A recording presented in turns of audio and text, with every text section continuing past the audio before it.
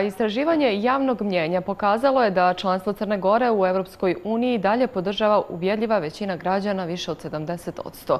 Gdje smo danas na putu ka EU, šta nas je na tom putu usporilo, gdje smo zabilježili dobre rezultate?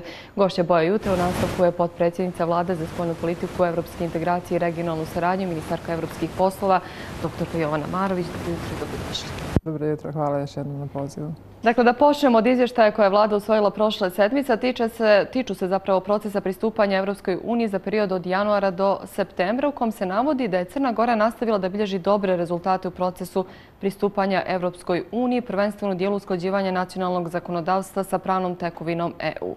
Šta su to prema vašem mišljenju dobri rezultati, ako nam evo iz Brisela stalno skreću pažnju to da smo usporili na tom putu ka EU? Sama konstatacija da smo usporili na putu prema Evropskoj uniji je problematična jer mi smo poslednje poglavlja otvorili prije dvije godine i samim ti smo otvorili sva pregovaračka poglavlja, što znači da smo u okviru svih pregovaračkih poglavlja ostvarili određeni tehnički napredak u smislu usklađivanja zakonodavstva, strateški okvir i ostalo. A što se tiče suštinskog dijela, onaj koji se odnosi na vladavinu prava pogleda 23 i 24 tu izostaju rezultati. To znači da smo mi zaista na istom nivou što se tiče reforme kao što smo bili prije dvije godine ili kao što smo bili prije pet godina. Dostigli smo onaj nivo gdje je moguće i gdje smo bili u mogućnosti da obezbeđujemo samo te tehničke rezultate. Ono gdje je po znacima navoda zapelo, odnosno gdje je problematično, to su oni suštinski rezultati u oblasti vladavine prava, a koje su stalno i često u fokusu javnosti i političkih debata. Dakle, imenovanje u pravosuđu, to je ono što nedostaje izgradnja nezavisnih institucija da bi uopšte vladavina prava kao takva postojala. Pitali ste me gdje je to obilježimo rezultate, pa mi smo, kao što sam rekla, u svakom od pregovaračkih poglavlja ostvarili određeni napredak. Za svako od tih poglavlja morali smo ispuniti set uslova da bi poglavlja uopšte bila otvorena. Mi smo do sada zatvorili tri, zatvorili tri pregovaračka poglavlja, a što se tiče posljednjeg izvještaja, mi smo ukupno u pet poglavlja zabilježili određeni napredak. Ukoliko bi nam metodologija dozvolila, da li bi u ovom trenutku bili spremni da zatvorimo još neko poglavlje? Bili bismo, ali metodologija je takva da podrazumijeva da bez napretka u oblasti vladavine prava nema zatvaranja bilo kojeg poglavlja, što znači da ukupan napredak u pregovorima zavisi od poglavlja 23 i 24. I to i jeste suština procesa pregovora i taj novi pristup se primjenjuje od Crne Gore. Zbog toga Crna Gora najduže pregovora pregovara. Da podsjetim, posljednja država koja se priključila Evropskoj uniji, Hrvatska, je otvorila ova poglavlja na samom kraju pregovaračkog procesa. Što znači da je ona ukupno 23 i 24 pregovarala nešto više od godinu, godinu i po dana, a mi već 8 godina, odnosno 8 i po godina pregovaramo u okviru ova dva e, poglavlja, a 10 i po godina ukupno pregovaramo s Evropskom unijom. Smisao tog novog pristupa jeste da se sve vrijeme mjeri uspjeh u oblastima koja se odnose na borbu korupcije i organizovanog kriminala. Ono što na ključan način definiše da li postoje izgrađene institucije i da li sistem kao takav funkcioniše, da li sve građanke i građani imaju ravnopravan tretman pred zakonom, odnosno da li institucije jednako štite sve. Da, rekli ste eto da bismo bili e, ovaj, spremni sada da zatvorimo neka poglavlja. Imate li okvirno koja konkretno zapravo? Pa ima napredak i recimo konkretno u ovom trenutku postignuto što se tiče spoljne politike bezbjednostne i to, to poglavlje je zapravo već zatvoreno, ali postignut je napredak i što se tiče javnih nabavki. Dakle, niz drugih oblasti gdje mi bilježimo i gdje je moguće u kratkom vremenskom periodu dostignuti te standarde koje zahtjeva Evropska unija, ali e, postoje naravno i komplikovanija, recimo ono koje se odnosi na zaštitu životne sredine. Dakle, nije problem samo, nisu problem samo ova dva, nego postoji i druga poglavlja gdje najviše financijski treba e, e, obezbijediti sredstva za harmonizaciju, a naravno i izuzetno su komplikovani uslovi. U ovom e, izvještaju koje je vlada usvojila ističe se da smo dobre rezultate zabilježili u dijelu usklađivanja nacionalnog zakonodavstva sa pravnom tekovinom EU. Koliki je procenac usklađenosti sa EU i da li smo možda u nekim oblastima 100 od 100 usklađeni? Pa jesmo, kao što sam već rekla, u vanjskoj e, politici. Što se tiče tog poglavlja mi zapravo već izvjesno vrijeme imamo 100% usklađenost sa vanjskom i bezbjednostnom politikom Evropske unije. Mi smo usvojili osam paketa sankcija prema Rusiji i u potpunosti smo u tom dijelu usklađeni, tako da je to jedina oblast i jedino poglavlje gdje smo 100% usklađeni. Što se tiče drugih poglavlja, kažem, teško je sad reći koji su to procenti, ali ono što nam najbolje ide u ovom procesu, u ostalom to i jeste suština procesa harmonizacije zakonodavstva i usklađivanja sa pravnom tekovinom Evropske unije. Eto, vi ste sami e, kazali šta nas možda koči u ovom e, trenutku, ali kako komentarišete usvojene izmjene zakona o predsjedniku i gdje vidite e, tu rešenje? Može li taj zakon biti dodatna kočnica na putu ka EU? Sve što Evropska unija kritikuje i sve na što reaguje, naravno da jeste kočnica u tom procesu. Prije svega vidjeli ste kako su reakcije bile iz Brisela i od strane ambasada ovdje. Mislim da će na tome dodatno insistirati. U ostalom, pitanje je naravno da li je nešto neustavno i ovaj, da li mi uopšte imamo ustavni sud kao takav da procjeni da li je nešto neustavno to su oni ključni uslovi od kojih nam zavisi napredak u procesu pregovora. Dakle, ne možemo govoriti o vladavini prava ako imamo nepotpun sastav Ustavnog suda koji ne može da štiti Ustav kao ovaj, temelj ustavnog poredka, odnosno cijelokupnog političkog sistema. Ovdje je naravno, kao što sam već više puta ovaj, naglasila, uvijek se ovaj, prstom upire u vladu i govori o odgovornosti vlade i Ministarstva ruskih poslova koje je formirano tek prije pa evo sad će sedam mjeseci, a ovdje je ključna odgovornost trenutno na političkim partijama. Onima koje nisu glasale za te sudije Ustavnog suda, one koje nisu glasale za članove Sudskog savjeta.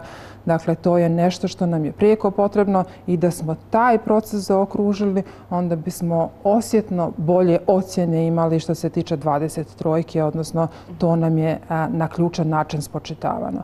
Naravno da ne upirem prstom u, ovaj, u političke partije, ali ovdje je više nego jasno da se ovdje stavlja znak jednakosti između onog što je 30 godina se dešavalo u državi i između onog što se dešava od izbora 30. augusta 2020. godine. Mi imamo potpuno iste probleme znamo koji je uzrok korupcije organizovanog kriminala u državi, znamo da se bez nezavisnih institucija ne možemo izboriti protiv tih pojava koje su i dalje duboko ukorijenjene, kažem, i u sistemu i u društvu. I mislim da je prosto, čini mi se da te malo ispolitizovane izjave sa EU nivoa i iz Europskog parlamenta čine štetu reformskim procesima u Crnoj Gori, jer kaže mi u tom procesu nismo ni ubrzali. Mi smo dostigli određeni nivo gdje je bilo moguće samo na tehničkom nivou ispunjavati kriterijume, a onda smo u tom procesu stali da bismo uopšte ubrzali proces evropske integracije, mi moramo da obezbijedimo ovaj napredak što se tiče nezavisnosti pravosuđa. Dakle, političke partije koje nisu glasale za sudije Ustavnog suda, koje nisu glasale za članove Sudskog savjeta u parlamentu, one su odgovorne za trenutnu blokadu procesa evropske integracije. Da, ali vi ste došli na tu funkciju također iz političke partije. Da li tu negdje možda osjećate odgovornost e, partije iz koje dolazite za ovakvo stanje trenutno? Pa ja sam to već više puta naglasila odgovornosti na svim političkim partijama. U 81 poslanik poslanice u Crnogorskom parlamentu. Ali koalicija Crno na bijelo i Jura kao takvo ima ukupno četiri poslanika, odnosno dvije poslanice i dva poslanika u Crnogorskom parlamentu. Postoje partije koje imaju mnogo više. U drugom krugu trebalo bi da 41 poslanik i poslanica glasaju za ta imenovanja. Ajde da to bude ta magična cifra. Dakle, Ura je spremna i Ura je glasala ovaj, u poslednjih nekoliko krugova i za članove Sudskog savjeta i sad je spremna da glasa za sudje Ustavnog suda. Ovaj, pitanje je da li su druge političke partije spremne da glasaju sada i tokom ove nedelje za sudje Ustavnog suda.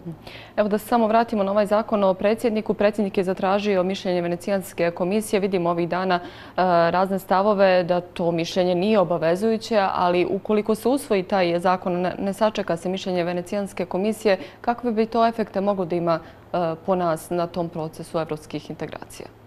Pa vidite, Evropska komisija će se, ovaj, ona se oglašava dva puta godišnje što se tiče stanja u državi. Jednom je to što se tiče stanja u pogledima 23-24, to je takozvani non-paper i onda će biti opet godišnji izvještaj u oktobru. Ona će i umeđu vremenu vjerovatno ovaj, komentarisati šta znače neustavne promjene i sl.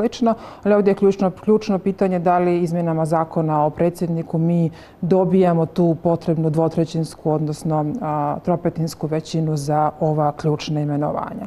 Jer ako to vodi ovaj, ubrzanju procesa evropske integracije, ako nas to vodi širokom društvenom konsenzusu, ovaj, ne, ne mogu ni na koji način naravno da opravdam kršenje ustava, ali ako se to radi za neki viši cilj, onda bi to imalo smisla. Ali ovdje nemamo ni taj viši cilj. To je prije svega a, a, potrebno istaći. A što se tiče e, a, ovih stalnih, stalno komentarisanja da je bilo kršenje ustava i ranije od strane DPS-a više puta, Ovaj, to nije naravno nikakvo opravdanje da se to sada radi e, loše ako nam kršenje ustava postane svakodnevica. Kada očekujete da bismo mogli da dobijemo izvještaj o ispunjenosti privremenih mjerila eh, pa i ta završna mjerila? Ovdje se u više navrata ovaj, komentarisalo u javnosti da mi eto propustili smo šansu pa nismo do kraja godine dobili... Da smo imali istorijsku šansu zbog geopolitičke situacije da ubrzamo taj put. Činjenica je da ta, politič, da ta šansa zapravo još uvijek postoji ukoliko političke prilike u državi budu što prije konsolidovane. To znači da nama treba ta većina u parlamentu potrebna za imenovanja i potrebna, potrebna nam je vlada koja će naravno imati podršku u parlamentu za ove potrebne i neophodne reforme, zakone, odluke i sl. Da bi se to uopšte desilo, naravno, potrebno je da političke partije sjednu, definišu pet prioriteta i ovo o čemu sam ja pričala su definitivno prioriteti koji, oko kojih mora postojati konsenzus. Dakle, ja ne znam kome nije u interesu da mi izradimo nezavisne institucije koje će garantovati ovaj, jednaka prava svim građankama i građanima. Ja ne znam kome nije u interesu da mi imamo fair uslove za, za izbore, To, to je prosto nešto što bi trebalo da je u interesu svakog građanina i svake građanke i sve, svih političkih partija. Dakle, to je nešto što bi trebalo političke partije što prije da definišu kako bi ovaj proces bio ubrzan. Što se tiče konkretno Ministarstva evropskih poslova, mi smo trenutno u stanju i situaciji da završavamo samo tehnički operativni dio procesa, dalje da rekonstruišemo pregovaračku mrežu, da jačamo kapacitete samog ministarstva, ali mi nismo u situaciji da ubrzamo proces ukoliko taj politički dio izostaje i to je bio ubjedljivo najnegativniji dio izvještaja Europske komisije. Dakle, fokus je na političkim partijama i mislim da moraju što prije da budu konsolidovane političke prilike. Ako to bude slučaj, onda mi možemo govoriti prosto Evropska komisija i države članice Evropske unije funkcionišu po tim šestomjesečnim ciklusima. Mislim da bismo, kad bi se desilo ova imenovanja, Mislim da bismo i što se tiče ovog akcijonog plana za ispunjavanje privremenih mjerila mogli da sklopimo tu cijelu sliku i da bismo do kraja juna onda mogli dobiti sljedeće godine taj izvještaj, a nadam se onda i do kraja sljedeće godine završna mjerila. Ne očekujem da će se ta završna mjerila bitno razlikovati od privremenih mjerila, jer vi kad vidite privremena mjerila, to su sve dugoročni ciljevi. To je nešto na čemu stalno i kontinuitetu treba raditi, tako da ne očekujem ništa bitno što se tiče zahtjeva ciljeva i sa završenim mjerilima. Je li to u ovom trenutku, izgleda li vam to realno ili možda previše optimistično, ako uzmemo u obzir trenutnu političku situaciju? Uzimajući obzir da smo mi e, polarizovano društvo, da govorimo o dva bloka koja nikako da se približe, mislim da stvarno više nema opravdanja da držimo u fokusu identitetska pitanja, da insistiramo stalno na podjelama i da stalno govorimo o nekim temama koje ni na koji način ne utiču na dobrobit građanki i građana, na njihov životni standard i e, da su političke partije neodgovorne ako nas i dalje drže u tom začaranom krugu.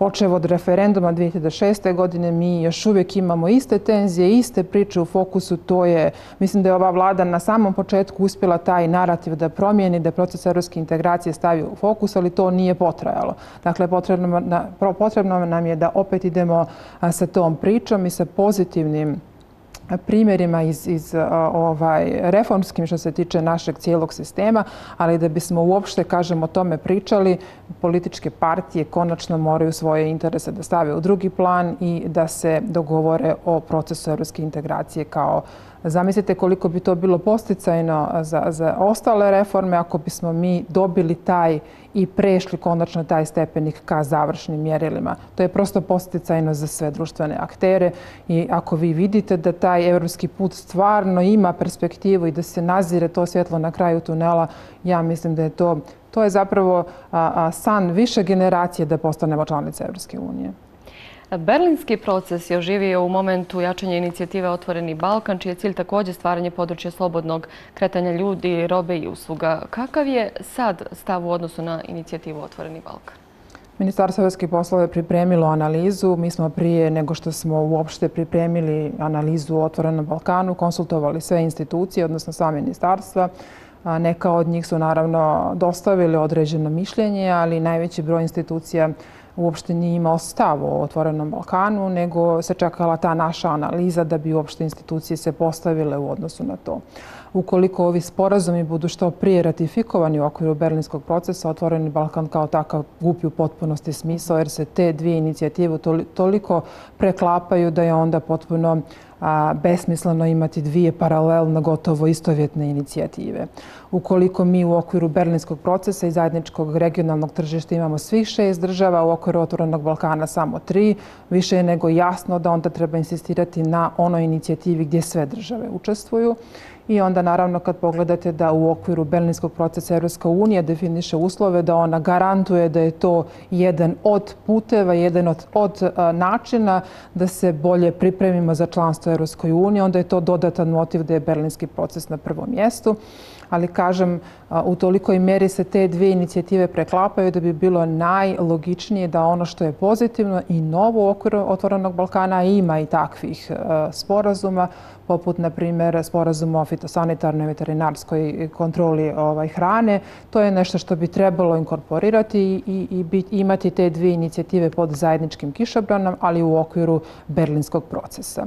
Postoji niz drugih razloga zbog čega je berlinski proces ima prioritet i primaran cilj, ali u ostalom Crna Gora se odavno već obavezala i odavno već vidi benefite berlinskog procesa kao takvog. I evo sad, gledan iz ove perspektive, jeste li imali mnogo veće očekivanja onog momenta kada ste stupili na funkciju ministarke? Naravno da jesam. Ja ne bih ni došla na ovu poziciju, odnosno ne bih ni preuzela ovako veliku odgovornost i važnu ulogu i funkciju da nisam mislila da je to moguće pa možda čak i preko noći ubrzati. Jer znate, kad se sklope neke ovaj, kockice i kad dođete u situaciju da su političke prilike idealne, onda mislite da je to baš lako riješiti, a posebno ako imate entuzijazam, ako imate viziju, ako imate političke aktere i saradnike u vladi koji su spremni da sarađuju i da ubrzaju taj proces. Pad vlade je naravno mnoge stvari usporio, ali još uvijek se dešavaju neke pozitivne stvari u samoj vladi. Neophodno je, kažem, da parlament odreaguje da bismo uopšte mogli nešto uraditi u tom procesu. Hvala vam mnogo, gospođo Marović, na izvojeno vremenu. Hvala vama.